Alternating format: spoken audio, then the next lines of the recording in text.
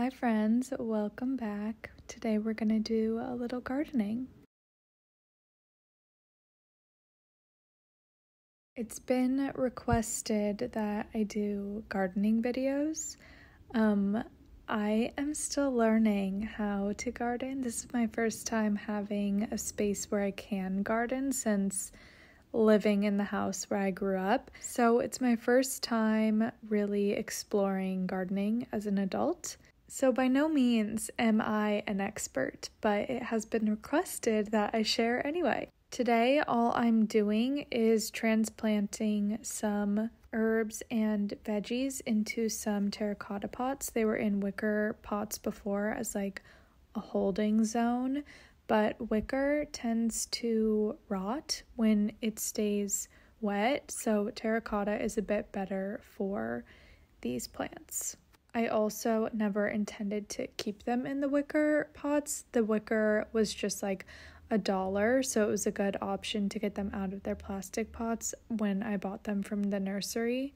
And the terracotta will be their more long term home until my full raised garden bed arrives, which is coming in May. I thrifted these terracotta pots and the little ladder that you'll see them on from the thrift store. I'll overlay that right here. And the pots were from Italy, which I thought was so exciting. Oh, here you can see the roots from these tomato plant starts have gotten so long and they need a new home. So, this is their new home temporarily. I know they're going to keep growing really fast, so I will get them into a larger pot soon, but for now, I am just putting them in here. Okay, while I pot this, I'm going to share a few things I've learned about gardening over the years from my grandma or sister or mom. They're all very um, good in the garden, so I'm still learning. One thing I remember learning is that after transplanting anything, you want to give it a bit of water. Um, I think it was my grandma who described it to me as they like you can be kind of rough with plants. You don't have to treat them like an infant baby, but you still want to be kind of gentle. And after transplanting, it's as if they've undergone a surgery. So they might look a little more frail, and you definitely want to give them water. Um, I've never fact checked that. I just took that with trust. A common thing that I think um, more people know these days is that you can feed your plants from the bottom up. So you can set them in a bathtub or another pot of water or just another vessel that has the water. And as long as your pot has a hole in it, they can soak up as much water as they need through the bottom.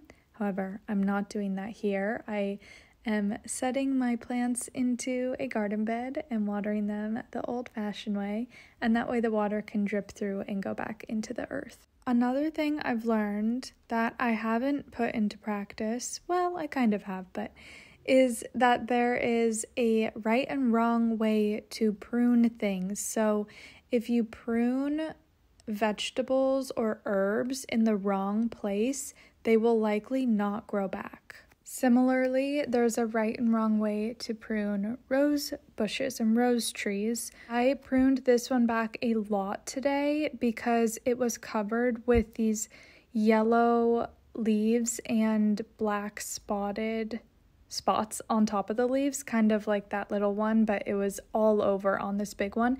And that can indicate a fungal infection with the tree, so I just gave it a nice trim and I really hope that it's okay. When you do prune, you want to cut above a stem with five leaves because that indicates that a bud will grow. I had to hit pause for the rest of that day, so we're back again today. New day, lots of sun and butterflies and going to pick up where I left off with the repotting.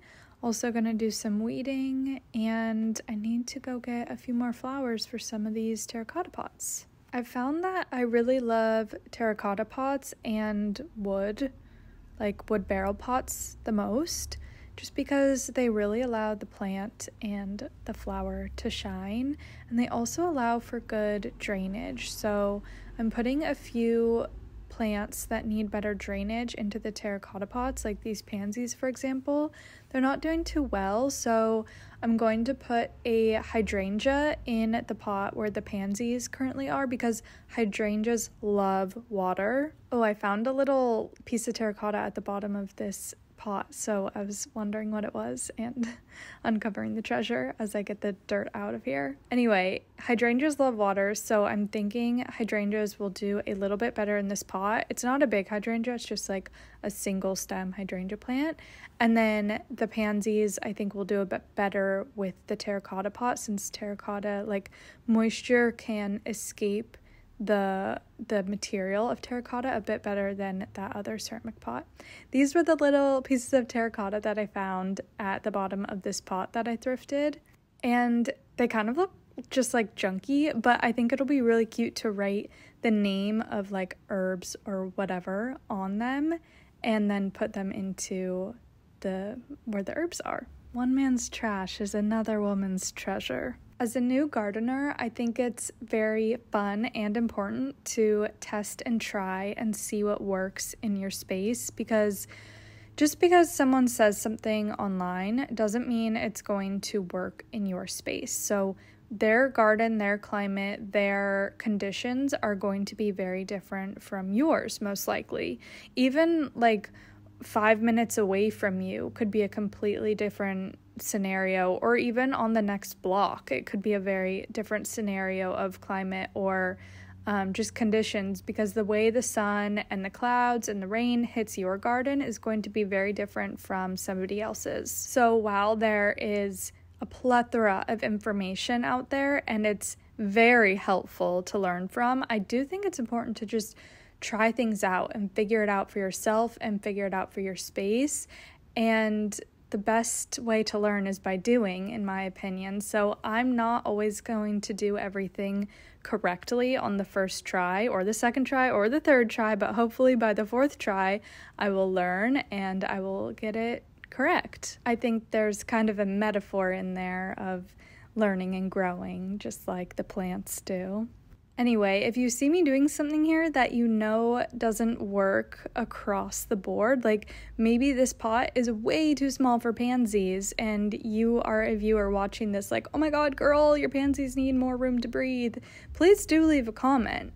Um, I would love to learn from you. I think feedback online is a tricky subject because when people are sharing something about themselves, whether it's their home or an outfit or whatever, and people give unsolicited advice and they're like, oh, that picture frame would actually look better if you moved it to the other wall.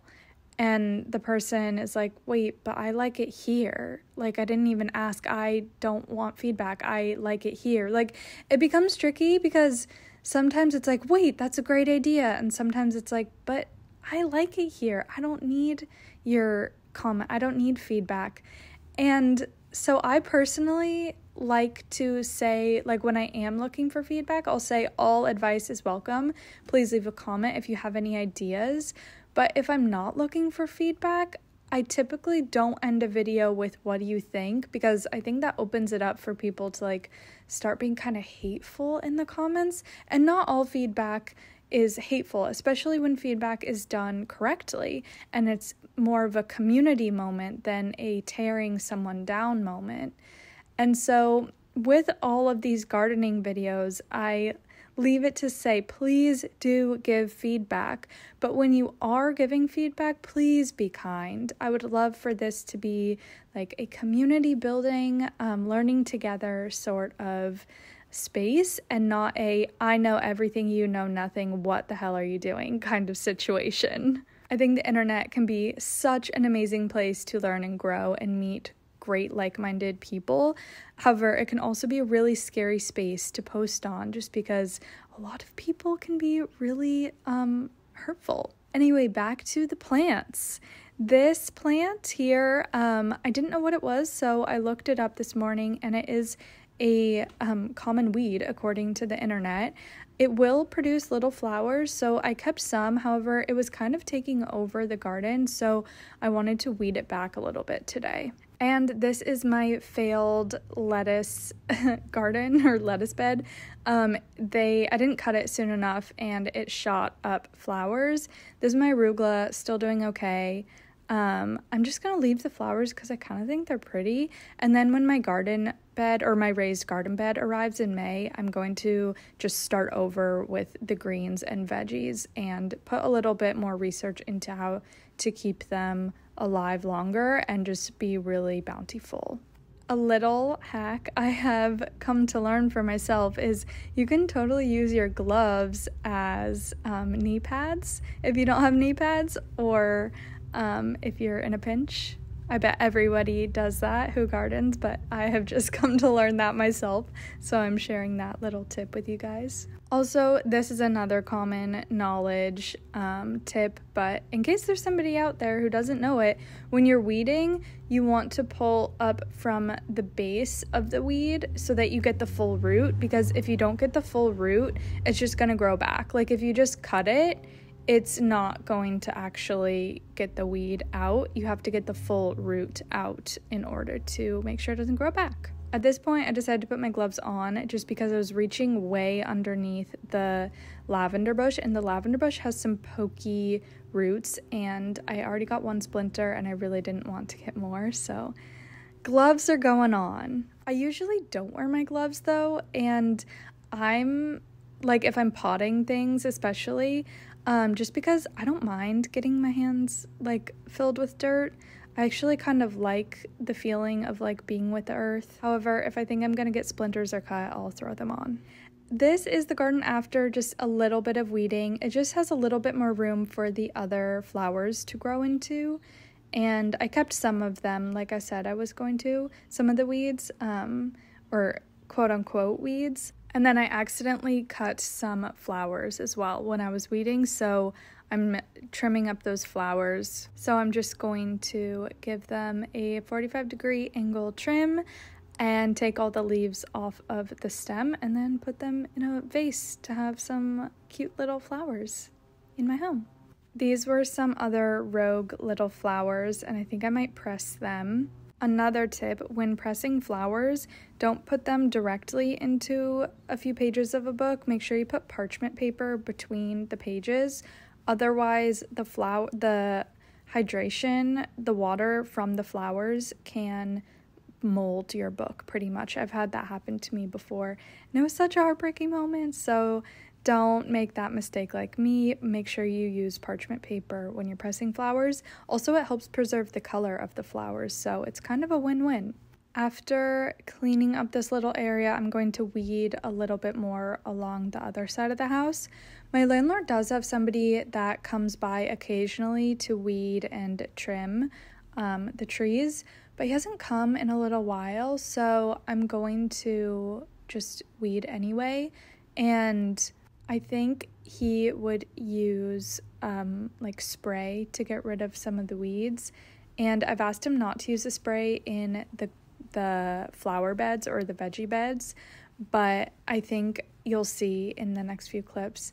I think he would use spray along the other weeds just because they're between tiles and they're really hard to pull up the roots, but until he comes, I'm just going to do my best to pull them out of the tile. Okay, another random tip is when you turn the hose off, make sure to keep running the water until all the water comes out of the hose. That way, the water isn't sitting in the hose. And I think it's just to like protect the hose and make sure like nothing starts growing in it. I'm actually not sure why I do that. I just remember my dad telling me that when I was really little, and so I still do that. As you can see, um, it's really hard to pull these weeds out between the tile. I'm getting some of them all the way down to the roots, but some of them I'm just getting the leaves because they're so tightly packed in there, and that's why um, I think it'll be helpful when the my landlord's gardener comes by whenever he is going to come by and just put some spray between those tiles. I would be interested to hear if anybody knows of like a more natural spray, like maybe vinegar or something like that, that I could put down in the meantime, um, or instead of using like a chemical spray that would make the um, prevent the weeds from going in between the tile um, because I always would love to do something that's like a little bit more um, planet friendly than using chemicals. I also think it's so interesting like who decides what a weed is and what a weed isn't? Like why do we think that some plants that are naturally growing shouldn't be there. I just think it's so interesting that we've collectively collectively decided like, oh yeah, that's a weed. We need to get rid of that. I think it's such an interesting I don't know, interesting societal phenomena. But among the weeds, or quote unquote weeds, I found a little flower, a little pansy. I don't know how she got in there, but I am totally keeping her there.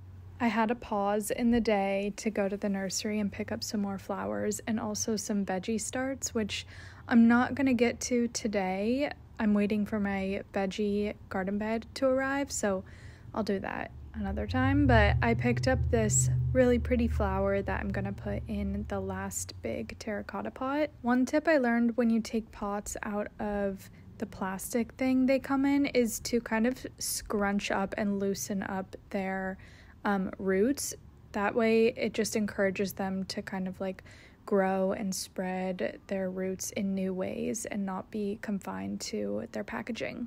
Also, one way my grandma taught me to measure if your plant is watered is to water them until it comes out of the bottom, which I don't know if that's true or not, but she taught me that a while ago. So I kind of go off of that if I'm not doing the water from the bottom method.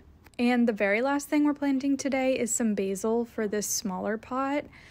This pot, I think, retains water, so I'm going to have to keep an eye on it and make sure that this basil stays healthy because I would love to have fresh basil right outside of my door for cooking. I also wanted to make sure that I got an herb that wanted full sun, and apparently basil likes a lot of sun, so hopefully this will do well because the last few plants I've had in this pot have not been doing well, which is such a bummer because it is such a cute pot. And it could totally be the location that I have it in, just didn't do well with the plants that I had in it previously. So, fingers crossed that this basil thrives in its new home. And that's kind of it for today. This was my first garden video. Well, I guess second because the first one was getting the side house garden that you just saw set up. I guess this is my second, but it's my first like potting and sharing tips kind of video. If you liked this format of just like sharing what I'm doing slash tips I've learned over the years, let me know. Or if you have a different format in mind that you've seen other people do that you really like, also let me know. I am down to adapt to what people enjoy. That's it. Bye.